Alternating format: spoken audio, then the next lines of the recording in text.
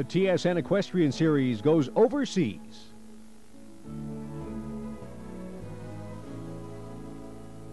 From the town of Millstreet outside of Cork, Ireland, we present the 1991 Millstreet International Horse Show.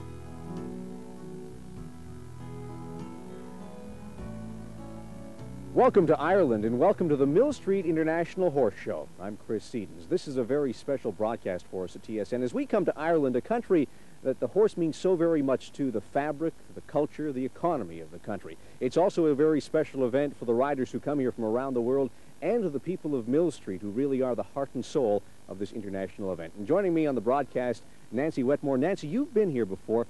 What makes Millstreet so special? Chris, to me, at Millstreet, it's the atmosphere. The Duggan family, in fact, the whole town of Millstreet pulled together to make this just a happy experience for everybody. And secondly, what we're going to see today, the Derby.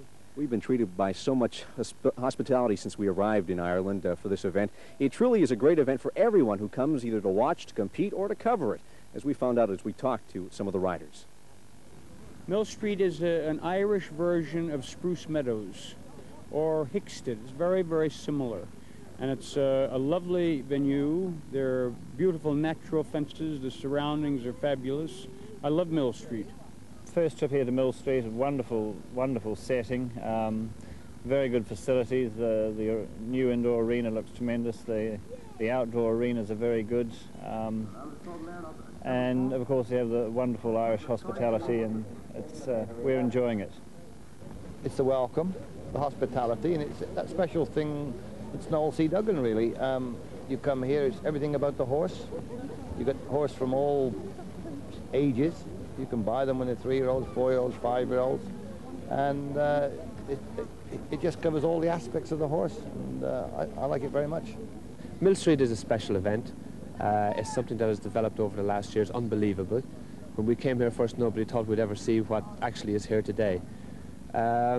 It's exciting to ride here and uh, I think all the Irish riders feel a little bit under pressure that they would like to keep the Derby at home. We have a lot of opposition from abroad and uh, there's £50,000 of Irish money and we'd like to keep it at home. Welcome back to Ireland and the Millstreet International Horse Show. Nancy, there truly is a lot of history behind the horse in Ireland. It certainly is, Chris. It's always been a main staple of their economy and the hearts of the people as well. There was a decline a few years ago. Now it's back with a vengeance, we're glad to say. The Millstreet Show is very important that it, it provides a unique look at uh, the breeding of horses in Ireland, which is very important because, after all, in Ireland, horses are a big part of the economy and the culture. Well, here in Ireland, the Irish Draught has been the traditional basis from which we produce our sport horse when crossed with the thoroughbred sire, and then continuous crosses over the next few generations with more thoroughbred stallions. When the mare gets so light after so many crosses, then you go back to an Irish Draught stallion, and that's the way we've traditionally, traditionally produced horses. However, over the last couple of years, people have looked at the performance horses in Europe, and we now have in Ireland a couple, only a couple, two or three uh, performance stallions from countries like Holland and Germany and France. But they are in a minority, and I think they always will be a minority, because obviously if you're selling horses from Ireland, then people want Irish horses. If they wanted Hanoverian horses, they would go to Germany. If they wanted Anglo-Arabs, they would go to France. So I think in the future, while we will have some infusion of good blood from these countries, the basis and the vast majority of our horses will always be bred on the traditional Irish lines. Well, they've been very good for the, for the numbers we breed compared with the big countries like France and Germany. Uh, they have huge numbers, but for the numbers of horse we breed, up to now we've been holding our own. What do you see as the next step for the Irish farmer? Will they be breeding more horses here, or will there be a, a decline? Uh, it's getting more and more. We were in a decline for about the last 10 years, but now, last year, they introduced a subsidy for a lot of the breeders, and uh, I'm glad to say that they're breeding far more horses. Unfortunately, I think we're not breeding enough quality, but anyhow, I'm sure it'll come right eventually. But we're breeding a lot more numbers than we have been. Our job is to support the Irish breeder and to advertise the Irish horse around the world. And we have been very lucky in it, and it has worked out pretty well for us over the years.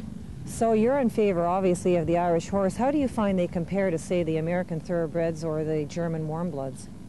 I think that the Irish horse is a very general purpose horse. He um, he's good temperament, uh, soundness. uh, longevity. They go on for a long time, and I think uh, um, basically the temperament is very good, and the limestone here in the soil aids in the growth of the bone. I think we end up with a good type of horse, a general purpose type of horse. Obviously, a great horse uh, anywhere is a great horse, but we're talking about the general market for amateurs like in the States or in uh, Canada. I think the Irish horse is a very, very good horse.